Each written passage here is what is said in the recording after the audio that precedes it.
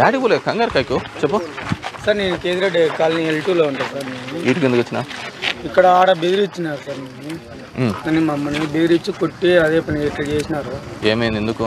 ఎందుకో తెలియదు సార్ ఆడ ఫ్లాట్ నెంబర్ రెండు సార్ వాళ్ళు. అందుకే సమస్య మేము ఇంట్లో ఖాళీ చేసి ఇక్కడ వచ్చినాం సార్. ఎందుకు సమస్య లేకోకుండా ఎందుకు చేసింటారు? ఏం జరిగింది? వాళ్ళకి ఏమో తెలియదు సార్ నాకు. ఎవరు వాళ్ళ ఎవరు నిన్ను బెదిరించింది ఎవరు ఆడ తుమ్మంపల్లి లోకేష్ అంట సార్ వాళ్ళ పేరు చెప్తారు పల్లాపులో. ఏంది ఏం. కారణం జరిగిందని?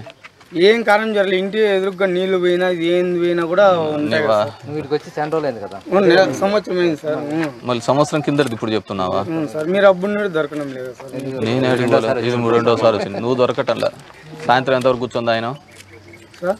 మందు ఎప్పుడు ఎంతవరకు రాత్రి ఎంతవరకు కూర్చుంది ఆయన? సార్ అంతే. ఇప్పటి వరకు వస్తుంది వాసన. సంవత్సరం కింద నేను కొట్టినది ఇప్పుడు వచ్చి నన్ను అడుగుతానావా ఆ? నువ్వనే చెప్పలేదమ్మా. నవ్వుతున్నావు నువ్వు? ఫస్ట్ తాగేది మాత్రం చెప్పు. సంవత్సరం కింద ఎందుకు కొట్టినారు?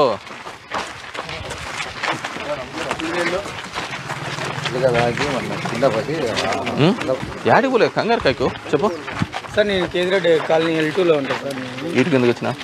ఇక్కడ ఆడ బెదిరించినారు సార్ నేను అని మమ్మల్ని బెదిరించి కొట్టి అదే పని ఇట్లా చేసినారు? ఏమైంది ఎందుకు? ఎందుకో తెలియదు సార్ ఆడ ఫ్లాట్ నెంబర్ రెండు సార్ వాళ్ళు. నువ్వు సమస్య ఎందుకు? ఇంట్లో ఖాళీ చేసి ఇక్కడ వచ్చినాం సార్. ఎందుకు సమస్య లేకోకుండా ఎందుకు చేసింటారు? ఏం జరిగింది? వాళ్ళకి ఏమో తెలియదు సార్ నాకు. ఎవరు వాళ్ళ ఎవరు నిన్ను బెదిరించింది ఎవరు?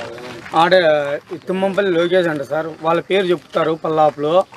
అదే అవును ఏంది? ఏం. కారణం జరిగిందని? ఏం కారణం జరగలేదు ఇంటి ఎదురుగా నీళ్ళు పోయినా ఇది ఏం పోయినా కూడా ఉంటాయి కదా సార్. నువ్వు వీడికి వచ్చి రోజులు అయింది కదా? అవును, నెల సంవత్సరం అయింది సార్.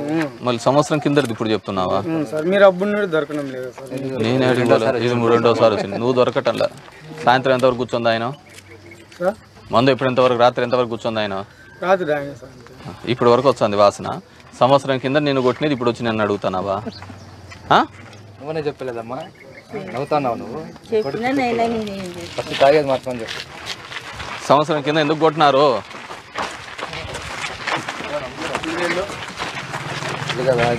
కింద పడి?